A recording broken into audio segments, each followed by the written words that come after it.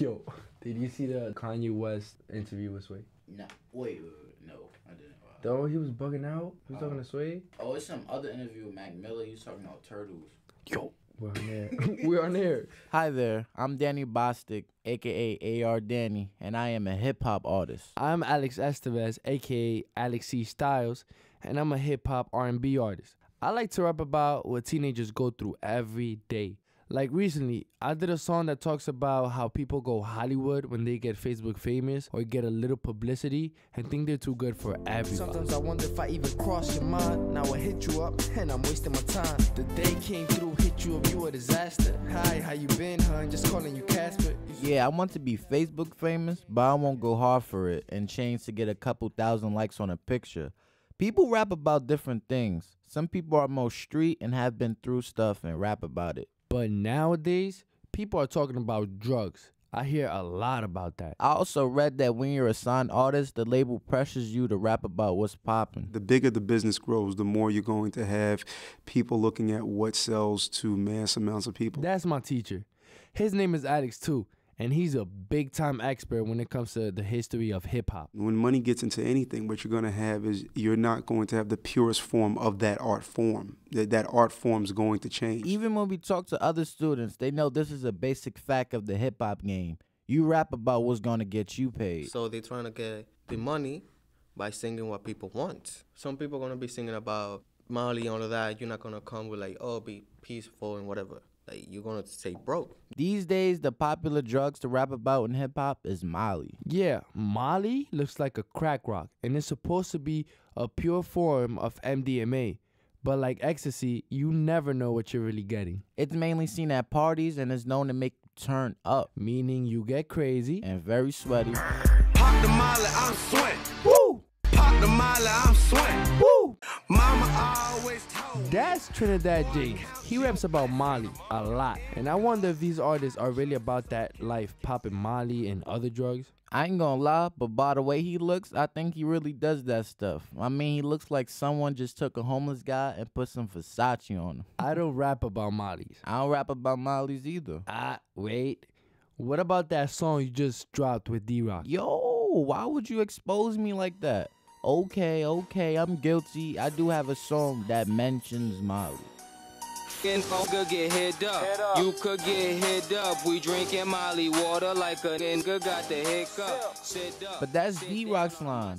And he doesn't even do Molly's. So why does he rap about Molly's if he doesn't do them? Because talking about Molly's is hot right now, and he does trap music. So for those who don't know what trap music is, it's a type of hip hop that talks a lot about violence and drugs. Yeah, and you're never gonna hear a trap song that says, "Let's go to school and study, Study. let's get that clean money." Money. D Rock is talking about Molly's because he's trying to be entertaining, but that's not his real life. Popular music has been referencing drugs since even before hip hop. But now you just hear about Molly's because if you do a song about Molly's, it's popping. And if you go on Worldstar, you'll see a bunch of videos of people who are on Molly's just bugging out. Yeah, and it's every day. I hear crazy stories. Like my friend had a friend who tried it, and she tried to jump off a building. Um, the video is called "Don't Do Drugs." Popping a Molly for the first time, gone completely wrong in Philly.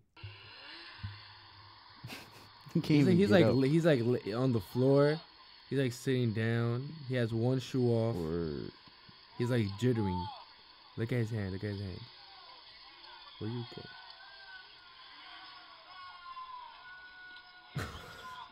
oh no, Oh, he's freaking out. He feels like so. Oh, I think people in New York aren't doing it because if someone puts out a video of you, it's over for your life. Yeah, they be like, "Oh, that's that guy that was doing Molly's going crazy in the video." But it's not like they're not available. I seen Molly sold at parties. That's where most people get them. One day I was in, in your party, Alex, with Alex, and and a guy he was selling Molly's. Wait, wait, wait, wait. Okay, let me explain. It wasn't exactly my party. It was just a team bash where I was performing at. Just so I can make it clear here. I was with a girl talking, so he came and he touched my my back. Yo, I'm selling Molly, so I told him I don't use that. And then someone saw him, and he got arrested. The security took him out, and he got in trouble. They arrested him. That's literally the closest any of our friends have gotten to trying Molly. But Eric, a student from our school, thinks hip hop has the power to influence and that artists should take some responsibility for their lyrics. The artist could pick what he wants to write about. If he wants to mention Molly's in his song, then he can mention it, but he has to bear the consequences. You know, there's gonna be kids our age or younger that are doing it. You see it on Instagram all the time. You see kids posting up pictures of Molly water, or I'm about to smoke this 30 with my friend, or I'm about to do this crazy type of drug. The media influences everything. And there is a real dark side to all the influence that rap can have on people. Yeah, like how the rapper Rick Ross created controversy when he rapped about using Molly to commit rape by putting a Molly in a girl's drink. You ain't even know it. Put Molly all in her champagne. She ain't even know it. I took her home and I enjoyed that. She ain't even know it. Do you know anybody that put a Molly in a girl's champagne just to have sexual intercourses with that person? Um, not champagne, but it was alcohol.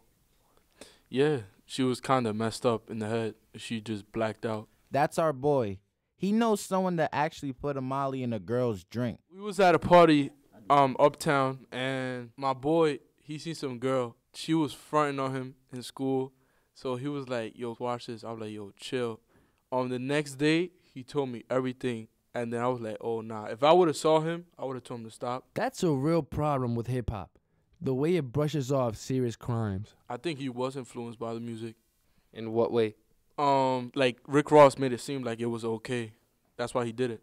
Yeah, I mean the beat on that Rick Ross song is so relaxed and chill that I think most people don't even notice what he's really saying. It's almost hypnotic. But I still don't know if music can really influence somebody to do drugs or commit a crime. Yeah, but what about Eric? When he spoke with us, he admitted to being influenced by hip hop. You know, there's always been weed smoke and drug related stuff around me. I'm not gonna lie to y'all, but I didn't want to do it. You know, I didn't want to smoke weed at first, but then you know, I like Wiz Khalifa. You know, I love the way he dressed, and you know, I love his music, and the fact that you know him and Snoop Dogg get along so well because they smoke weed. You know, I want to be like that. That makes me think rappers do have a big influence on team. But not all hip hop is like that. There is a lot of hip hop out there with positive messages. And some artists like Kendrick Lamar have even spoken out against drugs on MTV News. You know, I, I like trance. You know, in high school we had the button ups. Mhm. You know, Jay Z did that. Cool trend. Air Forces. And, and then sometimes you have, you know, the trance that's not that cool. Certain artists, you know, portraying these trends mm-hmm. and don't really have that lifestyle. Mm-hmm. And then it gives off the wrong thing, you know, and it becomes kind of corny after a while. Mm-hmm. It's really about, you know, uh, keeping hip hop original and, and pushing away the corniness in it. Preach. That's what I'm talking about. It's time to move on from all this Molly talk and keep hip hop original.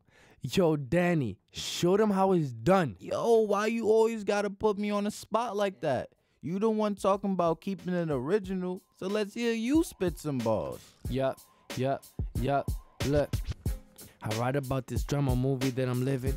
God give me a reason for my life to be predictive of the future and what is coming along. So if you're going through struggles, you should listen to our song. Happy I lived another day, God made it that way. Music is my everything. I fall on it like a rookie on a skating rink. Keep your eyes open, lots can happen when you blink. For WNYC, I'm rookie reporter Alex Estevez. And I'm rookie reporter Danny Bostick. We out.